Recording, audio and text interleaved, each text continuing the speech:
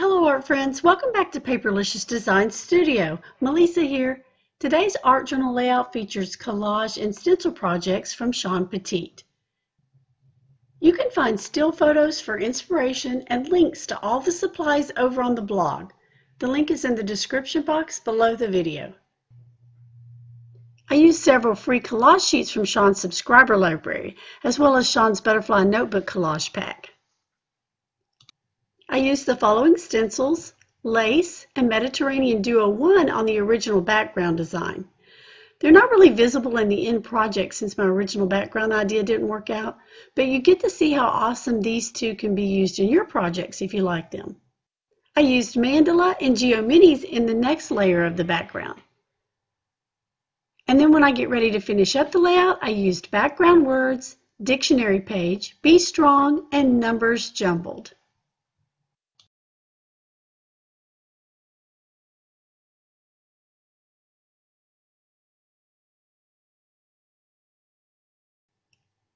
So I want to begin with a quick explanation of the difference between a regular stenciled image and one that is created when the main image is a mask. When you apply ink over a regular stencil opening and lift it, the main image is the inked area. When you apply ink over a mask and lift it, the main image is the background. The ink is applied to the areas around the main image. With that being said, I had a plan in my head of how I wanted to use the lace stencil since the main image would mask the background. My idea was to do a gesso resist technique. I tried my idea out ahead of time on a piece of dictionary paper and it worked perfectly. I applied gesso through the stencil, applied ink with the Ranger Dauber tool over the gesso, then rubbed it gently with a baby wipe to lift the color off the gesso. I was so excited. I loved how the text and color appeared as the main image and I was ready to get started. But it didn't work out so well in my journal. So let's get started and you'll see what I mean. I started by tearing pages from an old dictionary. I wanted this project to be light and bright, so I wanted my initial collage to have a white background as well. I wanted the words to be in all different directions, so I tore the pages into strips and then adhered the strips with matte medium. I overdid it just a little. I really didn't need that much collage paper, but I wasn't sure how the page would take the ink versus the dictionary pages. I thought the ink might be darker on the pages versus the dictionary pages, so just to be safe, I covered the entire layout.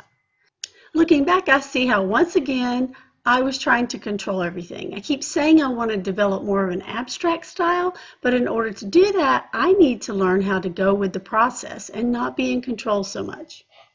So next I layered the lace stencil and pounced on thin layers of gesso using a piece of a makeup sponge. If you load your sponge with too much paint or gesso, then it'll smear under the edges of the stencil. So the key to getting crisp lines is to pounce on a couple of thin layers of your medium.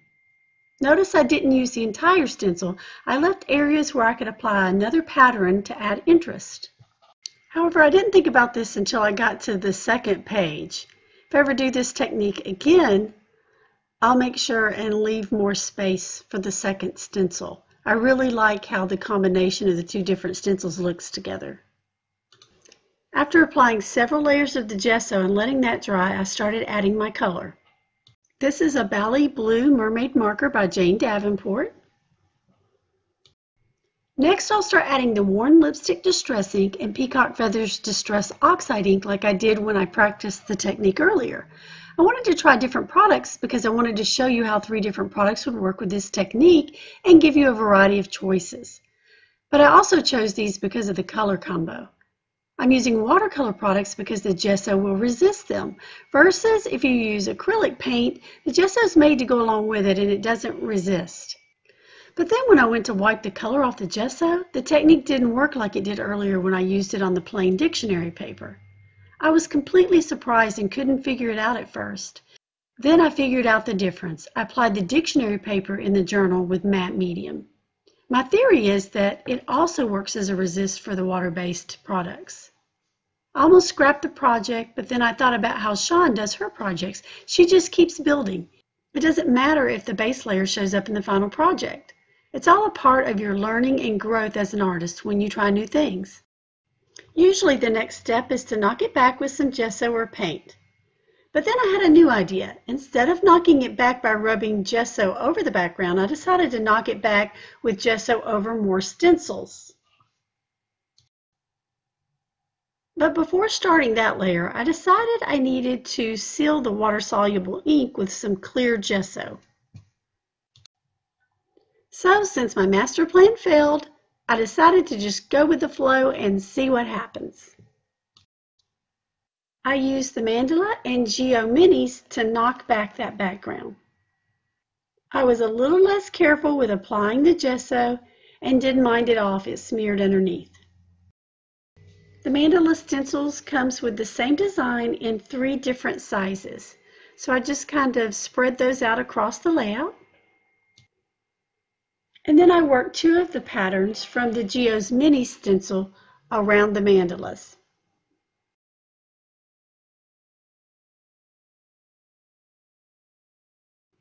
It did take several coats of the gesso to cover the pattern below, the lesson I learned here was I should have used the super heavy gesso. It would have covered it in one coat.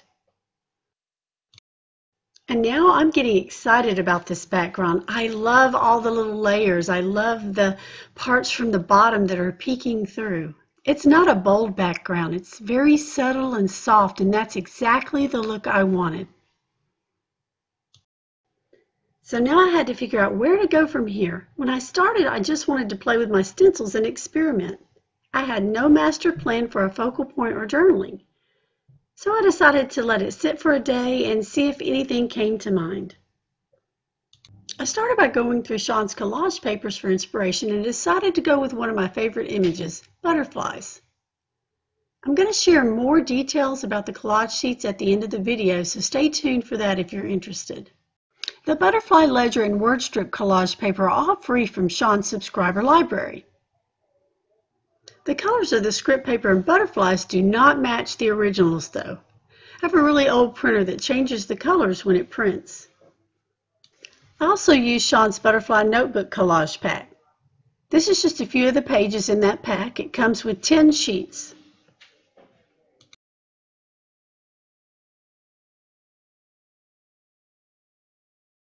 I trimmed out three circles and then tore around a couple of the butterflies. I had some mini paper bags and tags laying on my desk from another project, and you'll see me embellish them with the collage paper as well.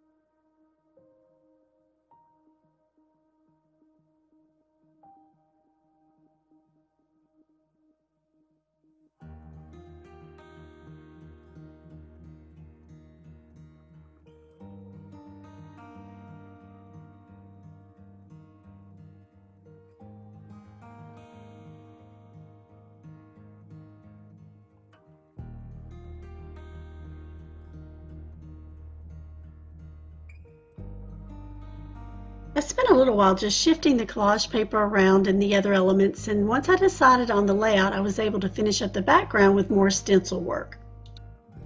Once I finalized where the tags, pocket, and circle elements would be placed, I started adhering the collage paper to the background. I'll use gesso to soften the edges and blend it into the background for a more cohesive look. I'm using Aleene's Tacky Glue to adhere the collage paper.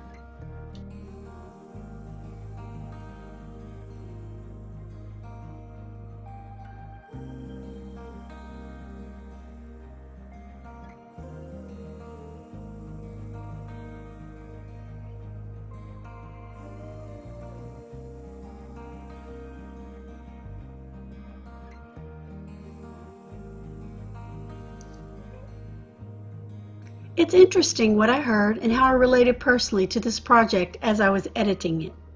I started thinking about the layering process and how what you start with is often not visible in the end project. Personally, I have a bad habit of focusing on all the things I do wrong and on mistakes I've made in life. And all of it, the bad, the ugly, the mistakes, are a part of our story, our life project. It shapes who we are today.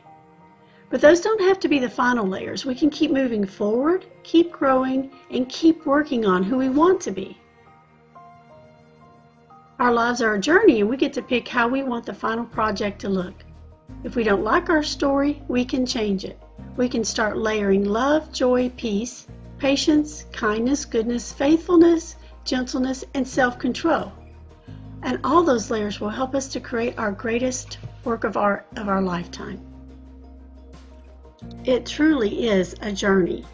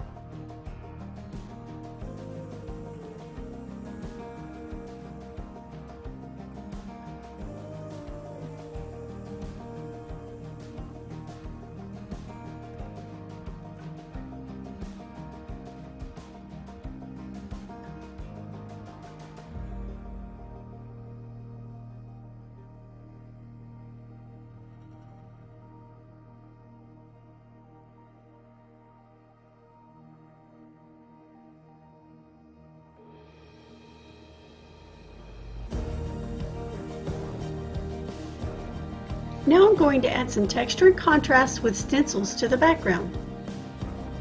I like to know where the foreground elements will end up before starting this process. I started with the background word stencil. I was going to use ink, but I could feel the sponge catching on some of the stencil openings, so I decided to switch to paint. And as you can see, I had too much paint on my sponge and it smeared under the edges of the stencil. This was not the look I was going for, but I'll fix that in a minute. So I switched back to using the ink so I could get some crisp images.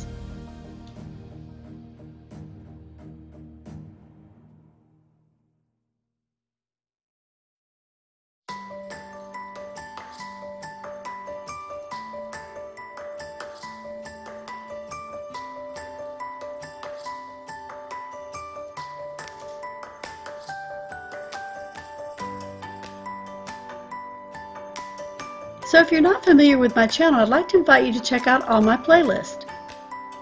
My videos are organized in playlists for different manufacturers as well as different project types. At this time, you can find playlists for Shawn Petite, Stencil Girl, Tim Holtz Paper Dolls, Red Lab Paperworks, and Darkroom Door. I hope to be adding more manufacturer playlists soon. I have playlists for art journaling, altered projects, and art cards and I hope to be adding playlists for canvases and cards soon.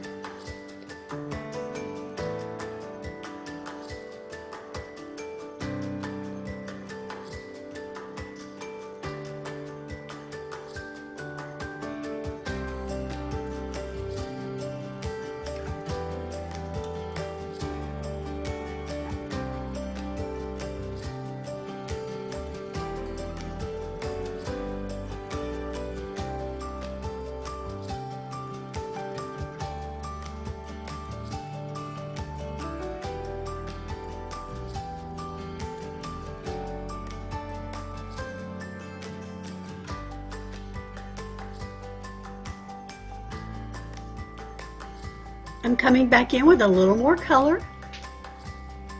Not too much, I, I want that dreamy look. In case you're a beginner, I do want to let you know that even though I don't show it, I'm letting it dry in between all the different layers.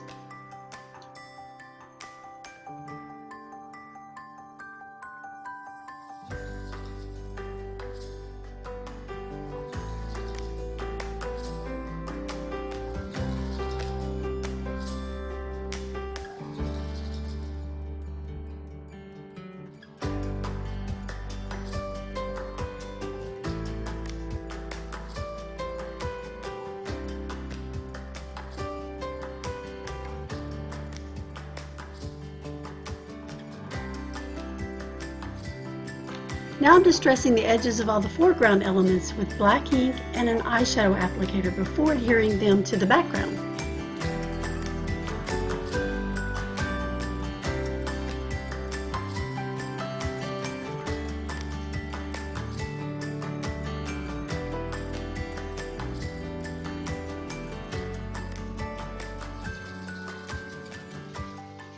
And now I'm going to add a little grunge around the edges of the pages as well.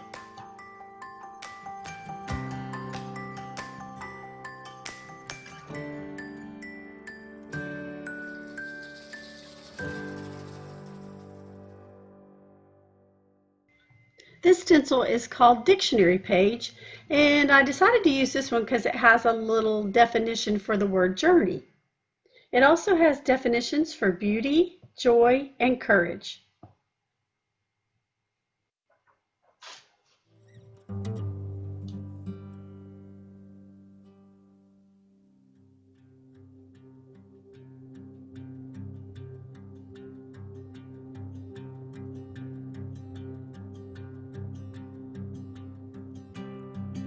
I really love this stencil, you guys. It's called Be Strong, and it's got a lot of great phrases that you can use in your art journaling, on canvases, and on your art cards.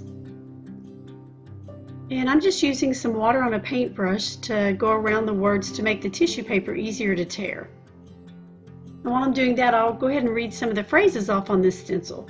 It's got stay strong, you can do it, keep moving, adjust your thoughts, Live your truth. You got this. Trust the timing of your life. Be different. Be you. Create beautiful moments. Don't forget to rest. Breathe. And the one I'm using today is Beauty is in the Journey.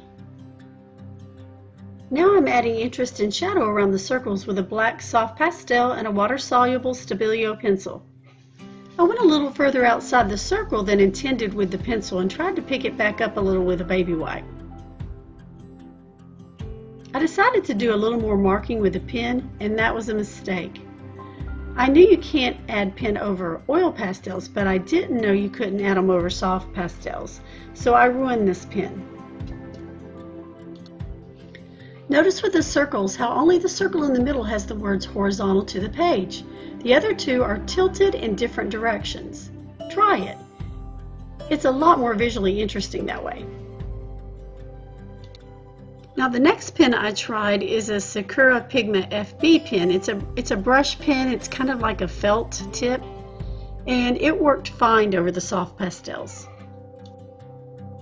Now you could just adhere the foreground elements down at this point and wrap this layout up, and it would look great as is. But I wanted to go for a more of a shabby chic look, so I started adhering lace and trim on it. I used Aleene's tacky glue to adhere all the lace and trim. Can you see how the layout doesn't look balanced? With all the black shadowing on the circle side, it felt like it needed more black on the left layout. I love using numbers in my project, so I decided to go with the numbers jumbled stencil on the left side. I also trimmed out some of the phrases from the free collage sheet from Shawn's library. I inked the edges and added them to the envelope and tags. They read, Take a risk, Seek adventures, With brave wings she flies, and Journey.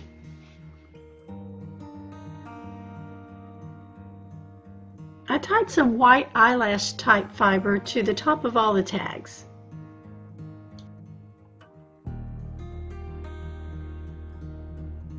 Next I started wrapping up the right side of the layout. I used matte medium to adhere my tissue paper phrase down. I inked the edges of the butterflies with black ink and adhered them into place with my tacky glue.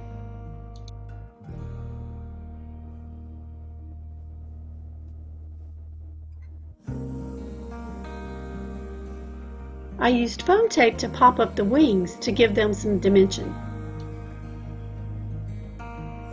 That pretty much wraps up today's project unless you're hanging out for another minute for the info on the printables in Shawn's library of freebies. Thanks so much for watching. I hope you were inspired and if you were, I'd appreciate your support by giving me a thumbs up, leaving a comment, and the use of my affiliate link when shopping at Shawn's store. There's no extra cost to you in doing so. You can find a link to my blog in the description box below for all the links to products and for still photos if you need them to inspire you. See you next time!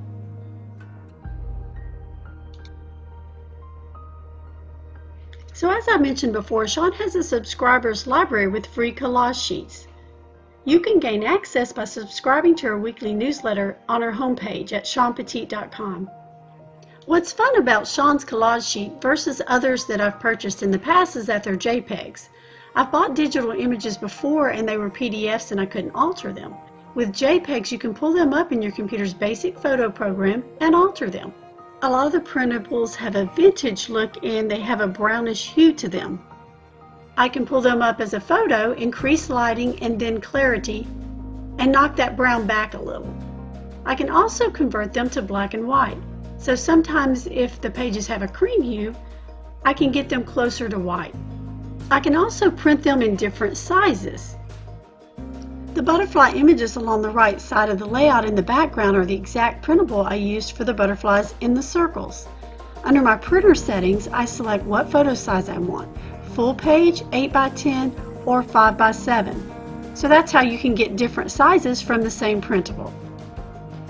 Now you won't be able to get the pink color that my butterflies have on this layout. The butterflies in the original printable are an orange shade. Mine are just a happy accident from my 20 plus year old printer. It alters the colors, but I'm sure you could find other butterfly images to substitute on your layout. That's it for today guys. See you next time.